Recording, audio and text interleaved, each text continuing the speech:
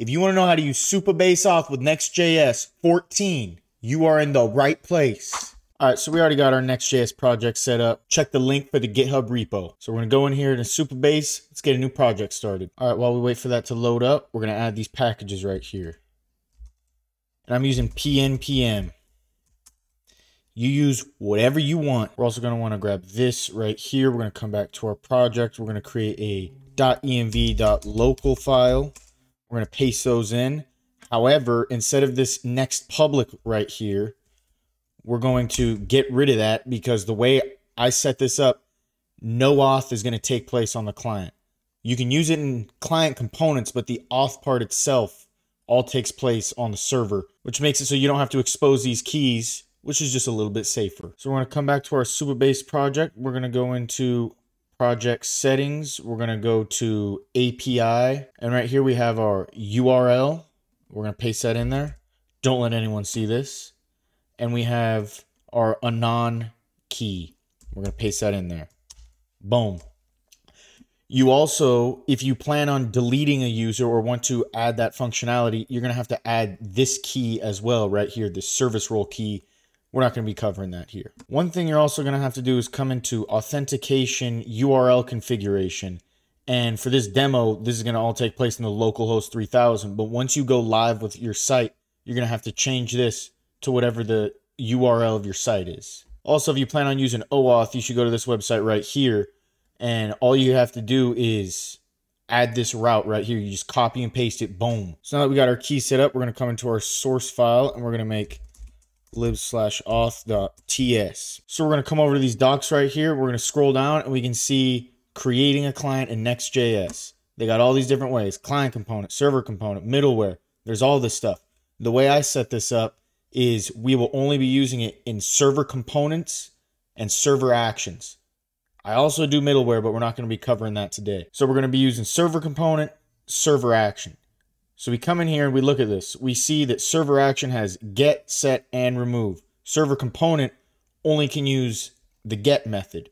So in our code, we can set up two different functions. However, I'm going to just set it up into one that accepts a parameter. So what we're going to do is create a function called get supabase auth.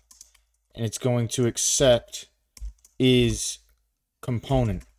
And that's going to be default to true. And inside of this right here, we can come back to these docs and just copy and paste this code right here. We're also going to want to copy and paste these imports. So I'm going to rename this from Supabase to client. It just makes more sense to me. So if we come in here, we see server action has get, set, and remove. And server component only has the get. So what we're going to do is we're going to come in here, we're going to rename this to next cookies. And we're going to say let cookies, which is of type cookie methods, is going to be equal to this get right here. So then we're going to say if it's not a component, we're going to say cookies equals dot dot dot cookies and then also this set and remove method. So now we can come down here and we can remove all this stuff. So what we're going to return from this function is client.auth. There's things you can do with just the client. Everything I ever do is with client.auth. So this is going to return client.auth. So now that we did that, we're going to create one more function that we can export called get server action auth. And this is how we'll get the auth in our server actions. And it's just simply going to return get supabase auth where is component is set to false. So now that we got these two functions set up, we're going to go over here and we're going to create some actions. So we're going to call this actions slash users. We're going to add use server to the top of this. And then we're going to create a function called login action that is async and accepts form data. And inside of this function, we're going to add a try catch block. And for this error, we'll say let error message. Sure, that, that works. I'll say if error instance of air then we're going to say error message equals error dot message. And we're just going to return the error message. And up here, we're also going to return error message, but we're going to set that to null. So we're going to add some code right here, but you got to know that the way that Supabase auth works with Next.js 14, you don't have to return anything from this function because it automatically uses cookies to basically create a global state for your user. So you can access it anywhere on your website. So from the form, we're going to get the email and we're going to get the password. And then we're going to use our function that we just made to get this auth object. We're going to have to import that right there. So now that we have this, we can sign in. And we're going to destructure data and air from this equals await auth dot sign in with password. And we're just going to add email password. And then just to be safe, we're going to say if air throw air and one more layer of security. We'll say if there's no data dot session, we're going to throw new air no session. So now we got our login action set up. We're going to come over here to the login page. And so I already got this set up. Check the GitHub repo. This code will all be there. So we can come to our website. We can see what this looks like. It's just a simple login form we got the form with two inputs. And this form has an action called handle click login button. And this function is automatically passed the form data from this form, which in this case will be the email and password. So how I always do this, I use the React hook use transition. And so it gives you two things, is pending and start transition. So when you start the transition, the is pending automatically returns true. So right here in our code, we say is if if it's pending, this is going to say logging in. Otherwise, it's just going to say log in. So we come in here and we say await login action and we just pass in the form data. And this is going to return this error message. And we can say if error message log the error message. Otherwise, we're going to say router dot push home. So we'll go home if it works. So now we're going to go over to our Supabase project and we're just going to manually create a user. So we're going to add user, create new user. So we're going to create this user right here. All right, now we come in here and this should work. So type in our email and our password. It doesn't fucking work.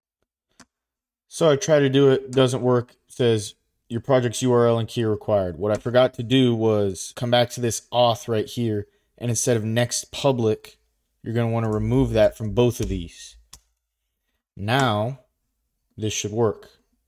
Logging in, boom, goes home, we're logged in. So now we can come over here to our home page, and let's say we, we want to conditionally render things if the user is logged in. Well, we're going to need to get the user somehow. So what we're going to do is go back to our auth file and we're going to create a function called get user. So we're going to go right here. We're going to export get user. This is going to be async and we're going to get our auth object from get supabase auth and we're going to set is component to true.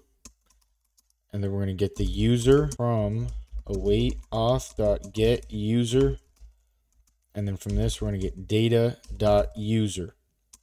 Now we have our user and we're going to return the user. So now we come back to our home screen and we're going to change this to an async function. Now we can say user equals await get user. Import that. Now we have our user. So now we can do a little conditional rendering. So you can see if we have the user, it's going to say user is logged in. If not, it's going to have a link that says log in. So now let's add some sign out functionality. So what we're going to want to do is add a client component called sign out button. So we're to come over here. We're to create a new file. We're to come back into here. We're going to import it. So now we have our sign out button right here. So we're to come in here. We're going to make this a client component. So we're going to make this a button. Sign out. We're to say on click we're going to handle click sign out button. So we're going to create the function called handle click sign out button. And this is going to be an async function. And we're going to use transition. Got to import that. So now we're going to start the transition. And inside of here, we're going to have await sign out action. So now we have to make sign out action. So let's go back over to our user actions and let's create the function sign out action async. So we can just copy this login action, paste it in here. We're just going to change a few things up. So we're going to get rid of this. We're going to get rid of this. And we're going to do await auth sign out. And this is going to return an error. So we're to get that air And we're to say if air, throw the air. Now we come back over here and we import this. And now this is to work like a charm. Let's add a little CSS to this first. And let's add also some conditional rendering. And now this should work. Signing out. Boom. We're back at our home page and we can see at the home page, if there's not a user, there's going to be a button that says log in. So we can now click log in, log in again. Boom, we're logged in. So one more thing we can do is, so let's say we want to protect some of our server actions, like you want to get some data, but you have to be signed in to do it. So we can do it right here with sign out action. We'll say await protect action. So now we just got to go write this function. So we'll come back over here into auth, come right here. We'll say export const protect action equals async. And what we're going to do is basically get this exact code right here. And we're going to say, if there's not a user, we're going to throw new error saying not authorized. And now we come over here, we import this, and we can add this to any action we want. You just need to make sure that it's inside of a try catch block. So basically how I use this throughout my entire app is I use this function get user wherever I need the user. I just make sure that it's in a server component. If you need it in a client component, I just make the parent a server component and then pass in the user as a prop. You could set it up so that you can get the user also in client components, but then that just complicates things. I think I'd rather just pass it in as a prop. And so if we come over here to our server actions, these can be used in both client components and server components. So you have a lot of flexibility with these. And that right there is how I set up Supabase Auth with Next.js 14. You got any questions? Drop them in the comments.